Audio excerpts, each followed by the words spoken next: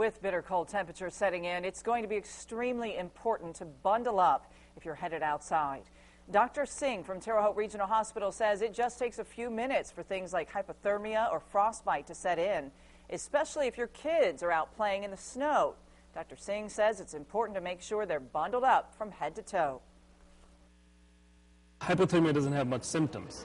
And the person can be totally unaware that they have hypothermia until they start becoming confused and then they fall uh, the person itself will have no symptoms.